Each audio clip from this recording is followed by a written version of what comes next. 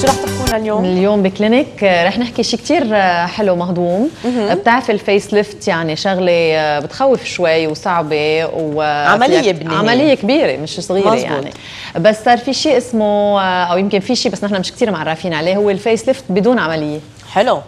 interesting تنشوف لمين أصلا ال face lift بدون عملية. قد إيه بضاين شو وضعه قد إيه أهميته. رح نحكي هالشيء مع دكتور ندى سويدان. بكلينيك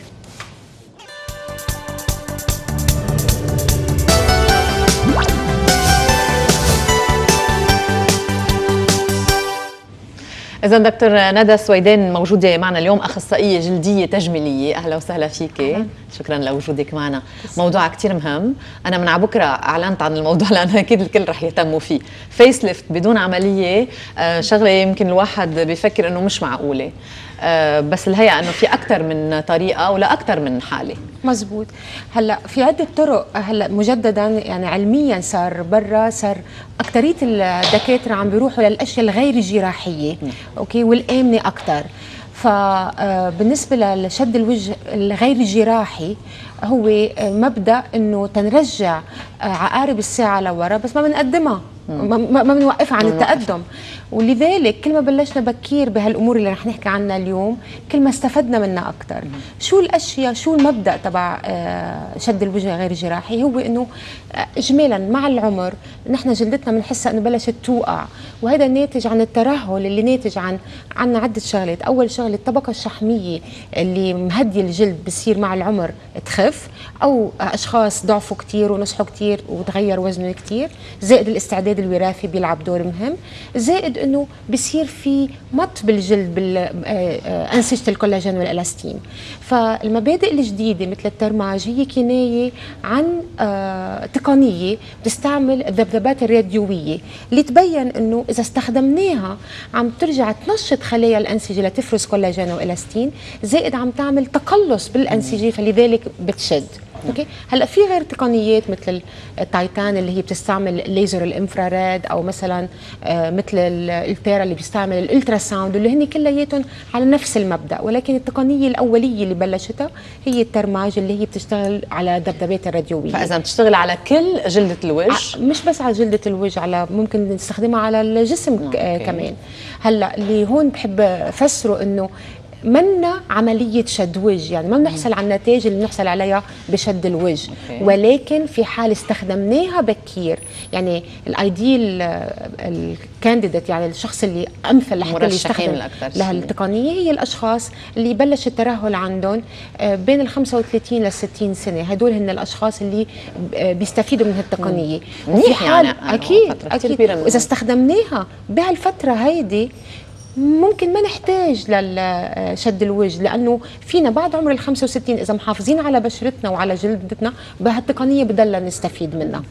فهي أي محل فيه ترهل بالجلد ناتج عن التمطط بالكولاجين والإلاستين رح تساعد. نعم. okay؟ فإذا هي رح ترجع تخلي هالبشرة ترجع تضب تضب exactly ترجع. يعني مثل كأنك حطيتي شقفه لحمة حطيتيها على النار كيف بت... بت... بتعمل ال shrinkage it's exactly the same thing بصير في تقلص هالشيء ما بيأثر على ال cells على ال- ابدا بالعكس. هي الحرارة عم بتنشط خلايا الأنسجة تتفرز مادة الكولاجين والإلاستين. okay. وتقنيه كتير سهلة. آه ما لها أي سلبيات آه side effects ابدا ما في سلبيات. هلأ آه، إذا أكيد إذا استعملت ب- بطريقة من صحيحة. قبل طبيب عارف شو عم بيشتغل ومزبوط. اي أكيد. لأنه ما في شيء ما له سلبيات من. هذا المبدأ. ولكن بس عمليا كيف بتصير هال هالعملية الغير جراحية؟ غير جراحية. نحن آه، المنطقة هو أكثر شيء المنطقة اللي بترهل بنلاحظ على ال contour تبع آه، الدقن نعم. okay؟ هذه هي المناطق اللي بنحسها إنه بتقشط من الجاذبية زائد مع العمر زائد وقت المنطقة الشحمية بتخف فبنحس إنه هالمناطق اللي أكثر شيء بتقشط فنحن اللي بنعمله هو إنه بنحط حرارة okay؟ المكنة آه، sorry ما جبنا فيديو تنفرجيها آه، مكنة كتير بسيطة بتعطي حرارة وبنمشيها على البشرة. okay؟ التقنيه هالعملية هيدي بتاخذ حوالي ساعة. okay وبنعملها على الوجه الرقبة آه، الجبين تنعلي الجفون ف وهل والنتيجة في جزء من النتيجة ممكن نشوفها دغري. ولكن هالحرارة اللي نحن عم نعطيها للجلد آه بتضلها تعمل تحفيز للخلايا لمدة ست شهور بعد هالتقنية هاي. فلذلك بنضلنا نلاحظ تحسن تدريجي خلال هالفترة هيدي. والمريض اللي بيعملها بيظهر من عندك بيقدر يروح يسهر يروح على شغله ما في أي شيء ظاهر على ما في. down ابدا. بس النتيجة يلي بدنا نوصل لها كيف بنعرفها من قبل؟ هلا ما نحن عادة بناخذ صور قبل وبعد. هلا اجمالا ال- آه، نحن وقت نشوف المريض من بنعمل assessment له تنشوف كأنه هل هو آه، رح آه، يستفيد من هالتقنية ولا لا. اجمالا الأشخاص مثل ما حكيت بين عمر ال 35 وال 60 سنة هن ال- الأمثل لحتى يستفيدوا من هالتقنيه إذا الترهل بهالمنطقة منه كتير قوي أو البشرة منها كتير مأذية من الشمس. إذا الشخص عم بيعتني ببشرته باستخدامات كريمات لتنشيط الخلايا إذا آه، الاستعداد الوراثي موجود إنه في بعض الأشخاص بتلاقي جلدتهم رقيقة وكتير قاشطة. إذا الطبقة الشحمية رايحة بالمرة فهدول مش رح يستفيدوا بس من هالتقنية بدنا نعمل لهم أشياء تانية معها. لتكون جزء من يعني. ال- آه، آه، الفحص السريري اللي بنجريه للمريض قبل بنقدر نقول له كانه رح يستفيد ولا لا. يمكن أوقات ال- الشخص بيكون آه، طلبه شكل معين. يعني بدي عيني تكون مشغولة بشكل معين وجه لا حتى نصير كلنا نشبه بعض. لا هالشيء مش مزبوط. نحن مثل ما قلت أول ما بلشت إنه نحن عم نرجع عقارب الساعة لورا. يعني عم ترجعي مثل ما كنت قبل ثلاث أربع سنين اذا هون خمس سنين. ال expressions رح يتحافظ عليهم. مزبوط. يعني إذا كان عمرك تن... مثلا هلا أنا عمري 49 سنة. عملت ال Thermage من أربع سنين لل contour. شو حلو صرنا بنقول عمرنا نحن ومرتاحين لأنه ما عم بياثر على شكلنا. طول عمري بقول عمري مع بالعكس أنا فخورة لأنه اللي حلو إنه الواحد أنا بقول ما بدي maintain أصغر بدي أكبر برقي أوكي؟ والعمر هو جوا النفسية. أكيد أكيد. ف آه هو كل ما ابتديتي بكير كل ما حافظتي على آه عمرك بطريقة أصغر. يعني ما بدك تغيري شكلك أنت. يعني فيكي تشقلي عينك مثل ما كنتي قبل بس ما فيكي تعمليها بشكل تاني مختلف. هالأشياء. وكثير غلط إنك تحاولي تكوني مثل شخص تاني. آه، هيدي نوع من من العمليات يلي بتنعمل إي نعم. يلي هي بديل عن الجراحة. في نعم. غير أشياء ممكن مثل ما نستعملها حكينا آه، في عندك آه، نفس المبدأ باستخدام الحرارة ال- هي الليزر اللي اسمها Titan infrared laser. كمان بتعمل نفس المبدأ الحرارة لتنشيط الأنسجة. وشو الفرق بين الاثنين الاثنين تقنيات مختلفة. هلأ ال Thermage جلسة وحدة بتكفي. هونيك بدنا نعمل عدة جلسات.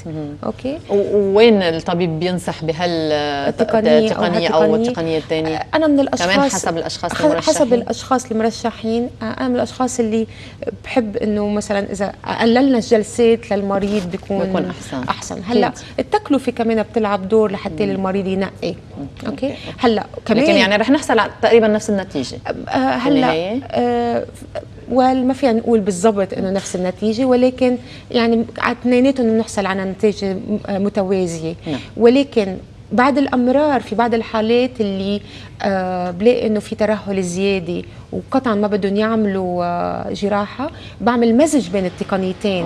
فبنعمل آه آه بنعطي حرارة من تقنيات مختلفة وبننشط من تقنيات من طرق مختلفة وبنحصل على نتيجة كل أفضل. حالة بدها دراسة لحالها. إيه أكيد. لوحدها الليزر أوقات بخوف اسمه لأنه بنعتبر إنه معقول يعمل حروقات معينة أو يعمل يغير. لون ال- بشرة الجلد مزبوط حسب نوع الليزر. مزبوط. هلا مثلا في تقنيه تانية اللي هي Fraxel repair laser اللي هو بيستخدم ال CO2 laser هيدي نوع الليزر مزبوط. هيدي ممكن تعمل تبقعات جلدية آه، ولكن بتعمل شد وجه كمان. هل التقنيه هيدي آه، قطعا لازم نحضر البشرة قبل ما نستخدم آه، هالتقنيه هاي؟ بالأخص إذا البشرة حنطية أو سمراء.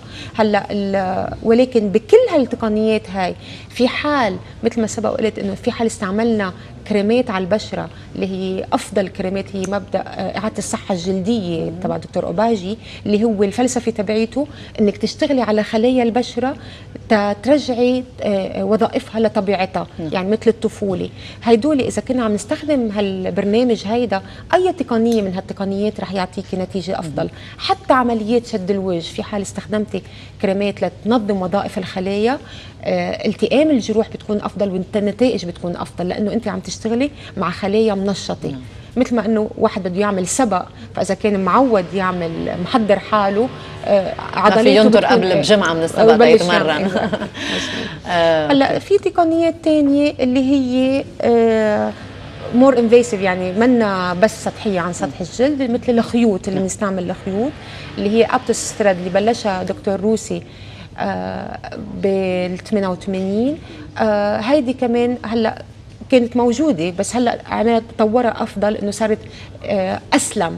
أوكي؟ هون في هي- خوف معين إنه فيها. الخيطان اللي رح يبقوا بقلب رح يبقوا الوجه. بقلب الوجه مزبوط. ه- ولكن هدول الخيطان يستخدموا بالجراحات آه، العادية يعني برولين ثريدز اللي هن بنستخدمهم بالعمليات عملية القلب عملية هو الخوف أكثر من الإحساس يلي ممكن يولدوا هالشيء إذا انعملت بطبيعة بطريقة